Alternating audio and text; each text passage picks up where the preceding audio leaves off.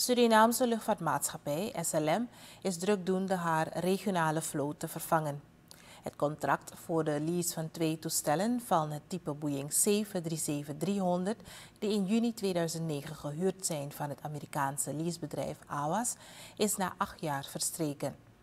De oude toestellen zullen vervangen worden door eveneens Boeing-machines, maar dan van het type 737-700.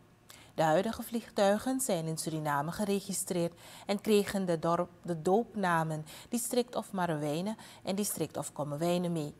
Het toestel District of Marowijnen is reeds uitgefaseerd, terwijl District of Kommerwijnen in december uit de operatie wordt gehaald.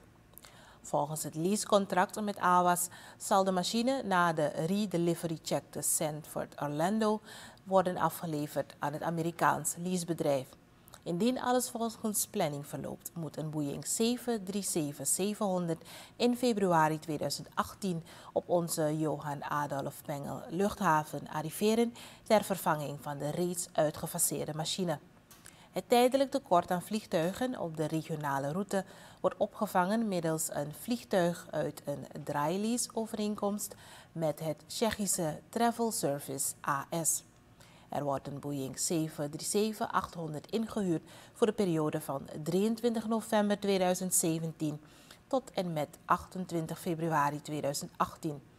Deze Boeing zal worden ingezet op de regionale routes van de SLM om de continuïteit van de regionale operatie veilig te stellen. Het cabinepersoneel van Suriname Airways zal getraind worden, zodat ook zij ingezet kan worden op de ingehuurde 737-800.